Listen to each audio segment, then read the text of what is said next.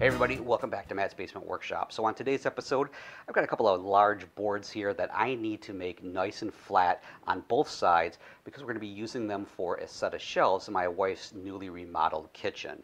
Uh, now these are rather big boards. In fact, it used to be one long board. It came in at about 9, 10 feet in length.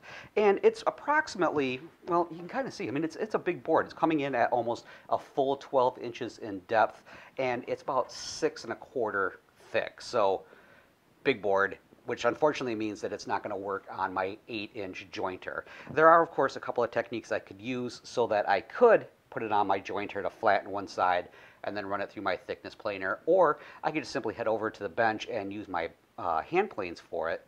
But what I really want to do is I want to use my thickness planer and a thickness planer sled that I created because it's going to make quick work of getting one side nice and flat so I can flip it over and make a nice parallel edge on the other one and get right back to uh, getting these to the final dimensions they need to be and more importantly up on the wall for the wife. So let's come in and talk about the planer sled, the thickness planer sled we're going to be using. It's really simple to make and we'll talk about how we're going to shim the boards on there so that they're not going anywhere and then we'll run them through the thickness planer to get that first uh, face nice and flat. So this is all there is to the thickness planer sled. Uh, the base is a 1 and 1 8 inch press board industrial shelving is the way that it was uh, listed at the home center. And you can get this in all sorts of different lengths.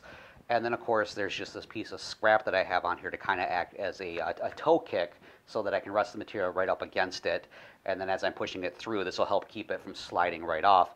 And then I just screwed it, making sure that I keep the screws countersunk just in case for some reason I'm not paying attention, and this first layer kind of gets nicked by the uh, actual thickness planer. But that is literally all there is to it. All right, so let's go ahead and get this board all set here. And the first thing we need to do is to shim the board on the uh, sled because we don't want to have any of this rocking in here. In fact, if we just left it the way it is, the rollers would come across and they'd push down on this and it would stay you know, nice and flat underneath the rollers, but then as it got about here where there's that, that kind of that twist to it, then suddenly this area becomes flat underneath the rollers. And while this would have a nice clean face from the blades, once we actually flipped it over, again, it would still have all that rocking in it. And that's not what we want. We want to have this face as true as possible. So what I'm going to do is I'm actually going to clamp this edge down to the, the sled get that held in position, and we're going to use just some wooden shims. You could use all sorts of things. I mean, if you only have just a small little gap that needs to be shimmed up, you use business cards or something.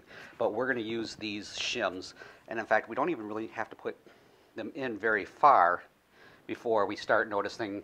We'll unclamp this. Yeah, I've got very little, if no play at all. In fact, I've got no play at all. So let me just check over here, and I'll check the corners. That is all good. So let me go ahead and reclamp this. Now, you could leave the shims completely bare like that and just assume that the rollers are going to be pushing down on it. You're not going to have any problems.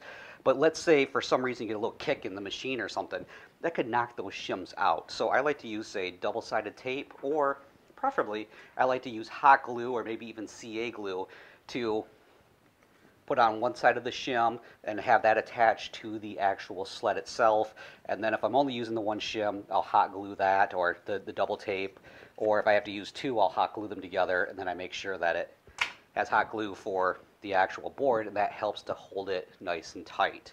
So I'm going to go ahead and take care of this shim here and we're ready to move on to the thickness planer because of how much shimming we had to do on the backside, you can see that this first pass that I did with this board, the very first pass, uh, barely touched anything except for the very back corner. So it's taken a little while to get it to the point where I'm getting uh, the full entire face touched by the thickness planer. Now I probably have maybe one, if two passes left, and you can see that I've gone through with a orange wax crayon and I've kind of drawn lines on here to give me a reference to make sure that everything is being touched. So let's go ahead and finish up this last pass or two and then we'll be able to come back in, flip the board over, and thickness the other side so that we have those nice parallel faces.